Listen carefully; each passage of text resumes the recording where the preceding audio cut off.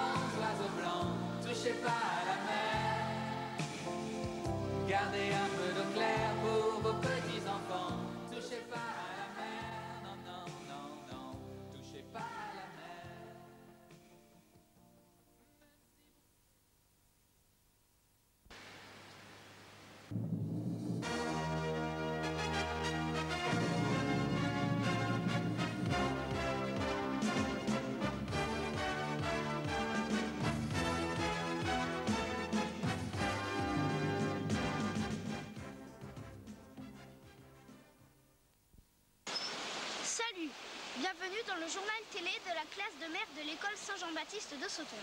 Nous commençons notre JT par un premier sujet sur le canoë, présenté par notre reporter Johan. Ah, j'oubliais, la vidéo c'est magique.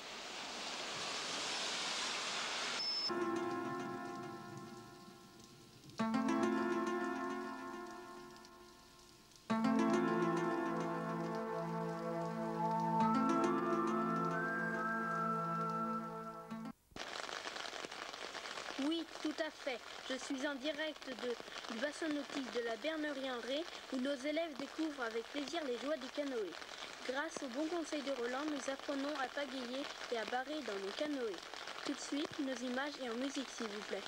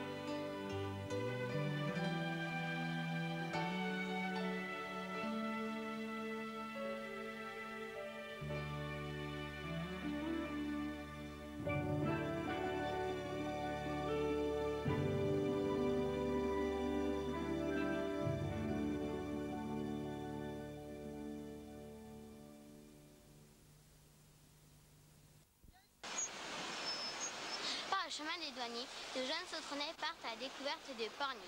Reportage Morgane.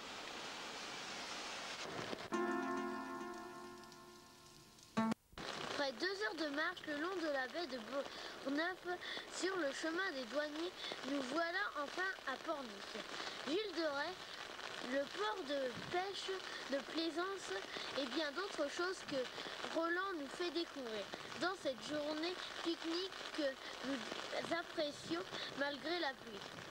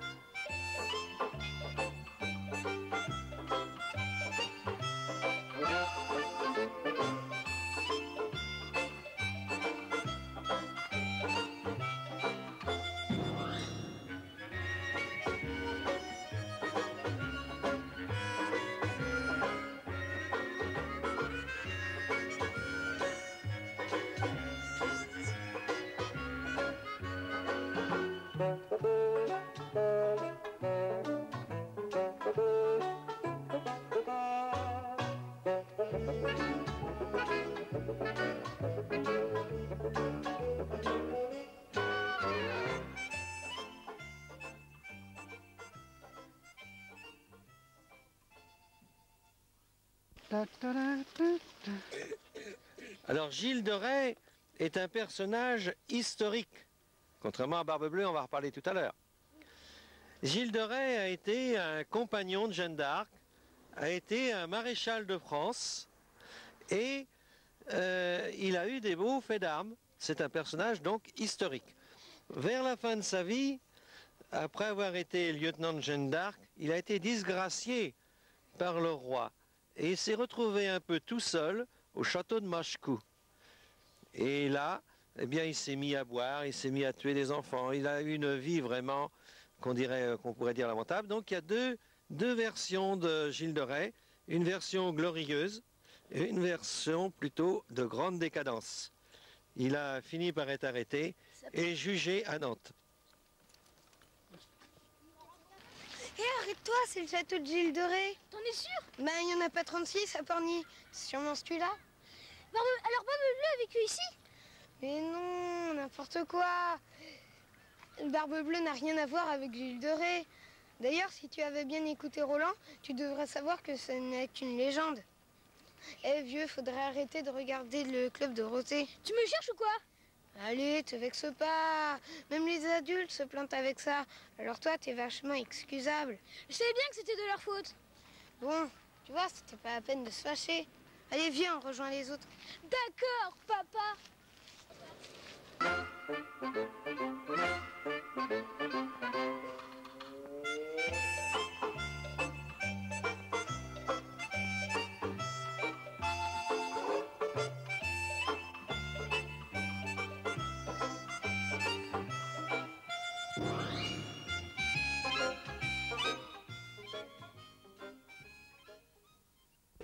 Différentes sortes de pêche. Comme vous êtes à Pornic, un port de pêche, eh ben, c'est intéressant de, savoir quelles sont les différentes pêches. Alors vous avez la pêche qui se fait avec des casiers. Il y en a qui sont ouverts des deux côtés, qui sont pour, que- pour pêcher les grosses crevettes, qu'on appelle les crevettes roses. Vous avez d'autres qui sont ouverts par-dessus, qui sont pour pêcher les crabes, les langoustes, les homards, tout ce qui est très gros là. Et ça, ça va se conserver vivant. C'est pour ça que sur le bateau, vous avez du vivier. Vous avez d'autres euh, d'autres pêches qui sont avec des petits filets, qu'on appelle les trémailles, qu'on met dans le fond de la mer et qu'on relève après. Puis d'autres qui se font avec des lignes même, pour pêcher par exemple le congre. Et puis vous avez d'autres, alors celui-là, il est, vous le voyez très bien là, qu'on appelle les chalutiers et avec lequel on va pêcher avec un chalut, un grand filet. Pas mal ce chalutier, tu ne trouves pas? Bof, moi je préfère les yachts. Eddie, tu sais pourquoi on appelle ce bateau un chalutier? Non mais tu vas me le dire, grosse maline Regarde, ce filet s'appelle le, le chalut, d'où le nom chalutier. Et comment tu sais ça, toi? Hum, Qu'est-ce que tu crois? Il y en a là-dedans. Ça y est, t'as chopé la grosse tête. Euh, moi, au moins j'écoute Roland, je suis pas dans la lune comme certaines. C'est ça, cherche-moi, tu vas me trouver.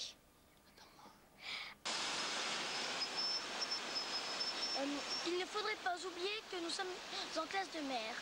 Voici un sujet sur la classe. Reportage Alicia.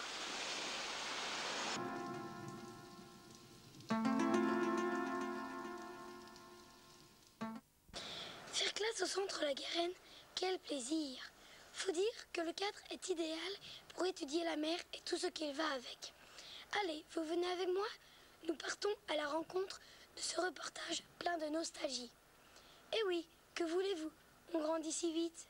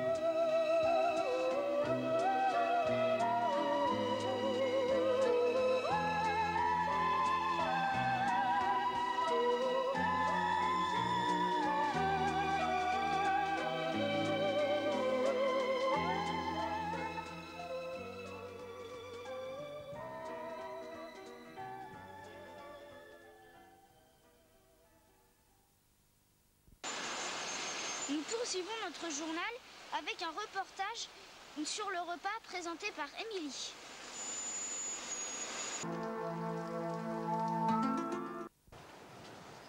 Si nos images avaient des odeurs, hmm, vous en auriez l'eau à la bouche. Je vous invite à partager la table avec nous et à déguster ces quelques images de Jean-Claude. Dans ce reportage à croquer. Hmm, je crois que j'ai les crocs.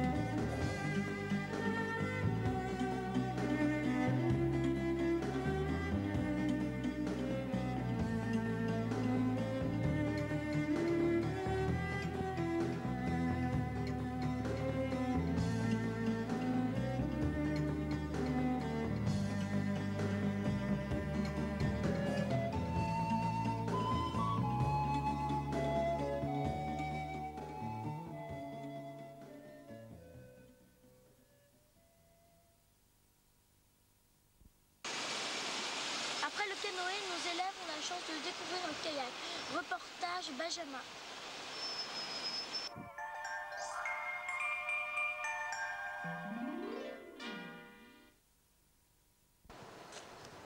Dites-moi, connaissez-vous la différence entre un canoë et un kayak? Non, bien sûr, et bien je vais vous le dire. C'est tout simple. Dans un canoë, on est à genoux et on a une simple pagaie. Dans un kayak, on est assis et on a une double pagaie. Voici quelques extraits où nos canards font des progrès.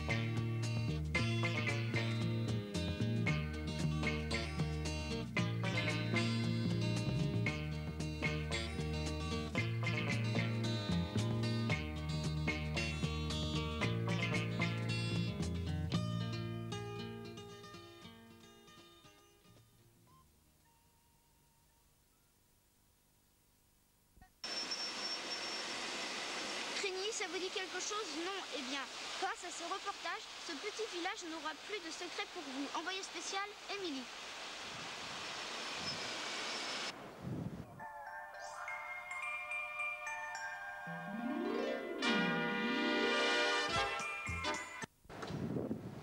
C'est un vélo que nous avons rejoint pour y faire étape comme le faisaient autrefois les pèlerins de Saint-Jacques de Compostelle. Dans la petite église du village, nous apprenions beaucoup en écoutant Roland sur l'histoire de la région.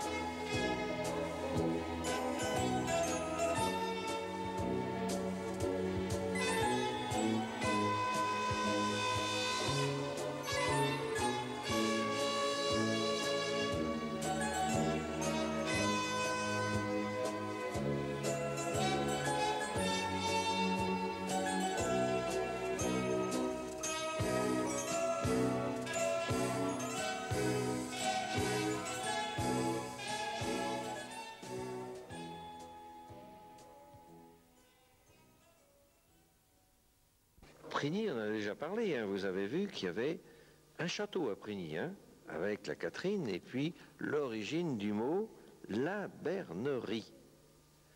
Hein. on a vu qu'il y avait aussi des douves et que c'était une, ville un petit peu comme Guérande, avec des remparts. On a vu aussi qu'on apercevait la mer plus loin et qu'il y avait des salines. On a parlé de la Gabelle et des Gabelous, hein, vous vous rappelez de ça? Et puis il y a eu aussi les Vikings qui sont vus là, avec la guerre contre les Vikings. On va en reparler. Et puis il y avait un saint, on voit un saint dans la chapelle qu'on appelle Saint Guénolé, qui lui est le moine blanc, c'est-à-dire le patron des paludiers. Et puis il y avait aussi quelque chose de très important, dont on n'a pas encore parlé, mais on va parler tout à l'heure. C'était un relais pour aller à Saint-Jacques de Compostelle, un très grand pèlerinage européen. Un bon conseil, passe cette pierre. Et ouais, pourquoi? Parce que cette pierre est une pierre à cochon. Et alors? Si tu ne passes pas cette pierre, tu es un cochon. N'importe quoi, c'est quoi ce délire? Vois-tu, au Moyen-Âge, on se servait de cette pierre pour empêcher aux cochons de bouffer les morts et les cimetières. Alors, tu l'as pas cette pierre? Ça va, ça va, t'es content maintenant? Ouais, moi je suis sûr que t'es pas un cochon. Ah ah ah, la blague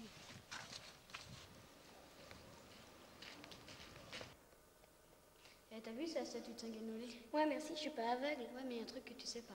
Ah ouais, c'est quoi? C'est que un- si un jour tu as des problèmes pour trouver un mari, tu viens planter une aiguille dans le pied de Saint-Guénolé et dans l'année qui suit, tu trouveras un mari.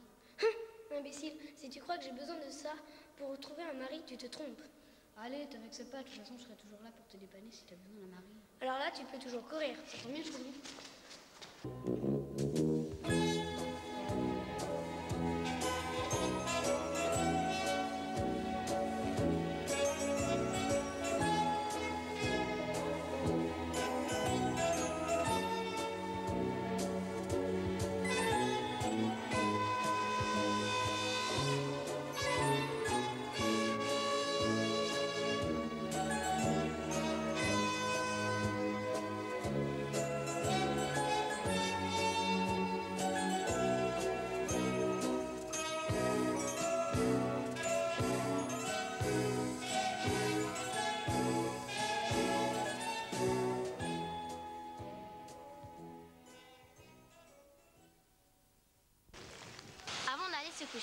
Nos élèves profitent d'une veillée jeu. Reportage Alexia Répond.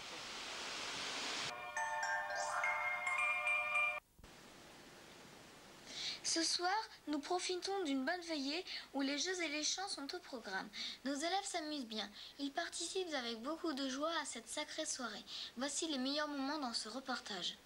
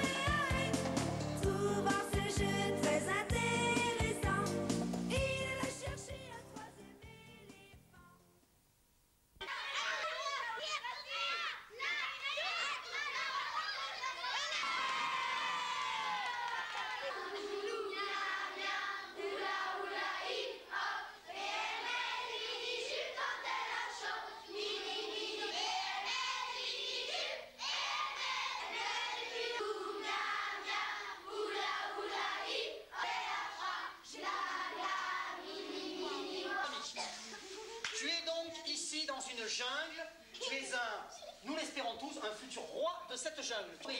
D'accord? Ils vont dans un instant tous faire le cri du gorille. Ils vont tous faire le cri du gorille.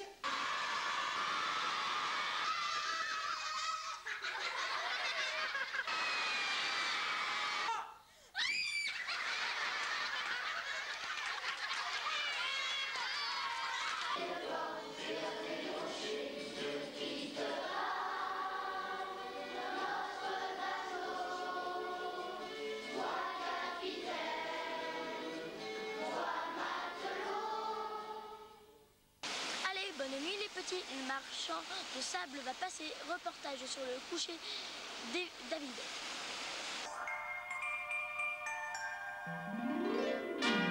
Après toutes les activités de la journée, une bonne nuit de sommeil fera bien à tout le monde. Certains sont déjà dans leur lit en train de ronfler.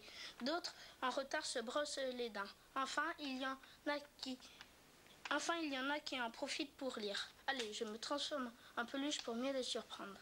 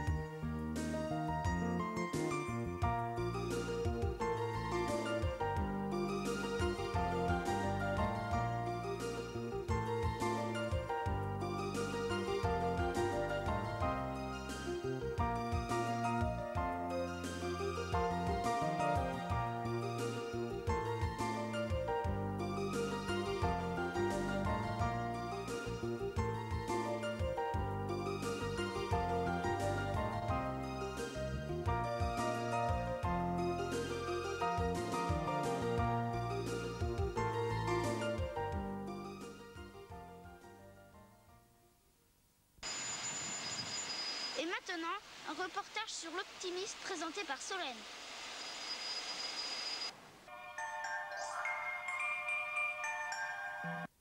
Eh oui, aujourd'hui, nos jeunes sautrenais mettent les voiles, mais je vous rassure, ils restent avec nous pour apprendre à se euh, pardon, à barrer leur embarcation, une activité passionnante car nous apprenons la navigation, enfin si le vent le permet.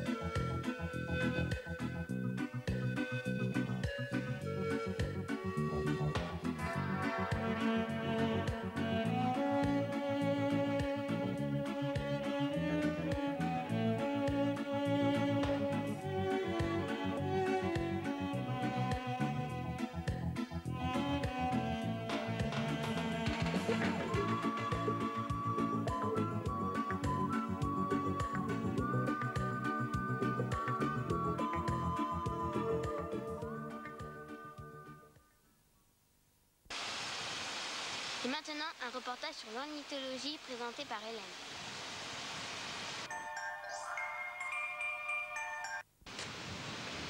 Avec Monsieur Séguin, nous allons parler non pas de chèvres mais d'oiseaux. Après la, après la diffusion de diapos et, et d'un film sur les différentes variétés d'oiseaux, nous allons sur le terrain les observer.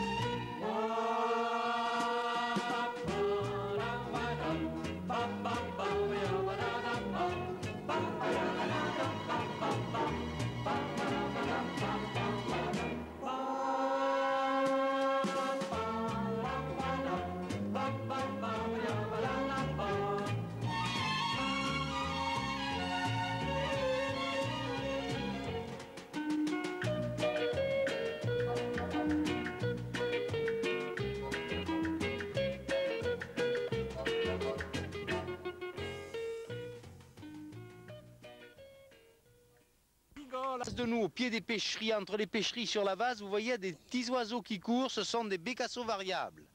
Il y a une autre espèce qui est la barge rousse qui était là tout à l'heure, mais apparemment elles sont parties, elles ont vu que ça bougeait, elles se sont éloignées. De toute façon, on va observer au large sur les vases qui sont très très loin devant nous, puisque vous voyez là-bas, vous avez un petit rocher qu'on aperçoit là sur notre gauche, qui est à peu près à 2 km 500 d'ici à vol d'oiseau. Avec Eddie, nous prenons le car pour une sortie à Noirmoutier.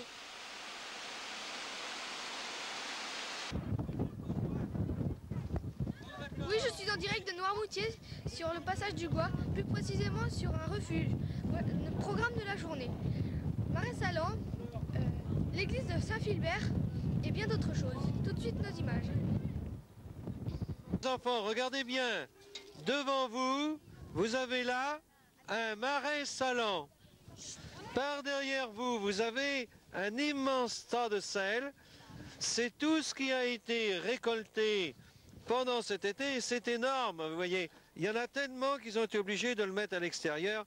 La salerge, qui est le bâtiment dans lequel on met le sel, était trop petit. Les gens qui récoltent le sel sont les paludiers ou les sauniers. Le mot saunier est bien employé aussi en Vendée. Le principe, c'est que l'eau arrive de la mer, elle est stockée dans une vasière, ensuite elle passe dans le marais salant, où par un système de circulation et de chaleur du soleil, l'eau va s'évaporer. Et il y a un deuxième phénomène, qui est le phénomène de la cristallisation. Et tout ça vous donne du sel sur votre table.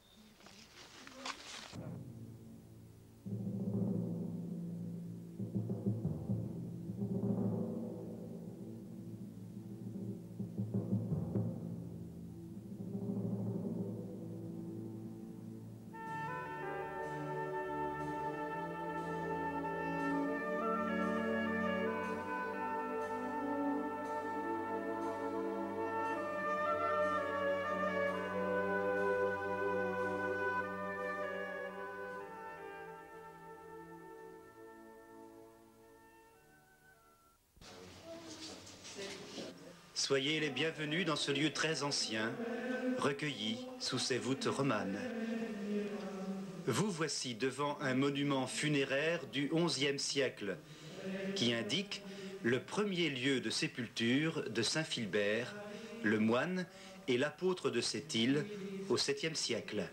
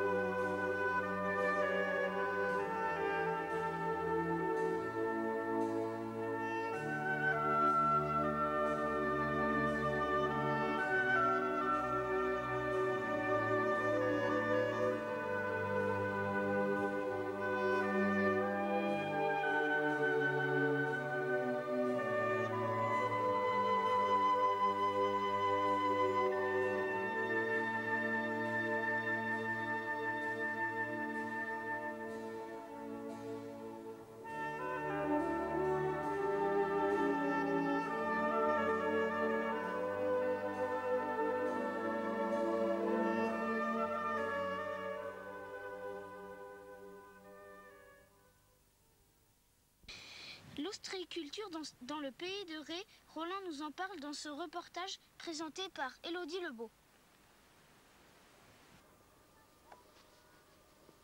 4 ans. Il faut quatre longues années de patience et de travail pour qu'une huître actérise dans notre assiette. C'est ici, dans ces parcs à huîtres, que tout commence avec les collecteurs, qui vont permettre aux larves de se transformer en huîtres. Avec Roland, les huîtres plâtres, fines et, euh, creuses n'ont plus de secret pour nous.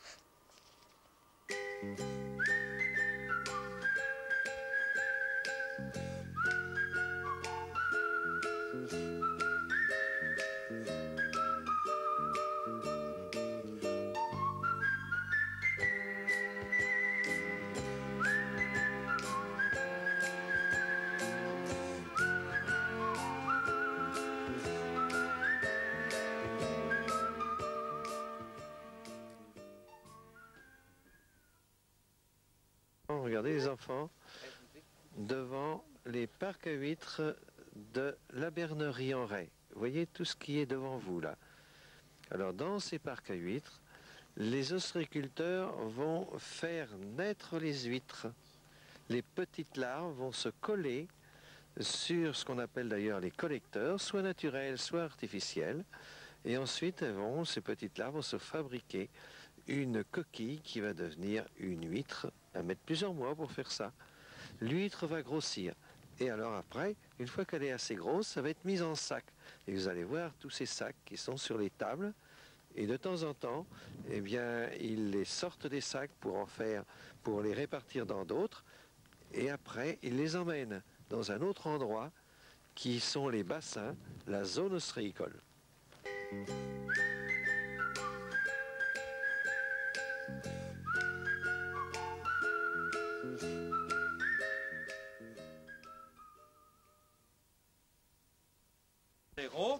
Très au numéro 6 pour les petits. Salut toi, comment tu t'appelles? Moi c'est Huître Creuse. Tu sais, j'ai grandi ici dans les parcs à huîtres. J'ai déjà 4 ans et à Noël ça sera ma fête. Mon coefficient de chair est de 8 pour un calibre de 4. Mais sois gentil, ne me mange pas tout de suite. J'ai besoin d'oxygène. Remets-moi dans les bassins. Merci, t'es gentil. Et bien voilà, notre journal des classes de mer est déjà fini. J'espère qu'il vous a plu. Bonsoir. Merci de nous avoir suivis jusqu'au bout sur Télégarenne. Bonsoir.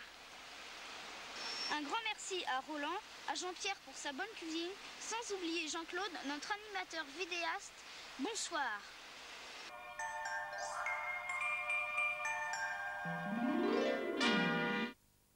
Avec le temps, tout s'en va, comme dit la chanson. Mais grâce à ce film, notre refrain sera différent.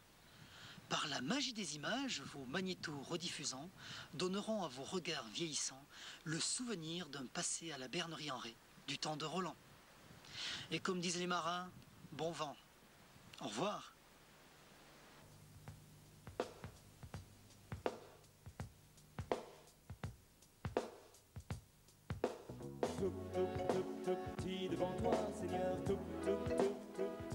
toi, tout, tout, tout, tout petit devant toi, Seigneur, tout, tout, tout, tout petit devant toi. Quand l'orgueil malfaisant efface ton regard d'enfant, quand la loi du plus